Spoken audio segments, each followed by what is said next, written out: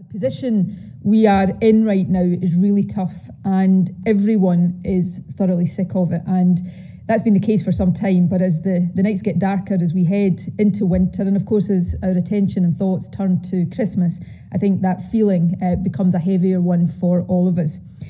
Unfortunately, though, however much we might like to, we can't magic COVID away. There is simply no alternative to all of us working together to stop it overwhelming us, to stop it overwhelming our National Health Service, and to stop it taking at lives if we possibly can.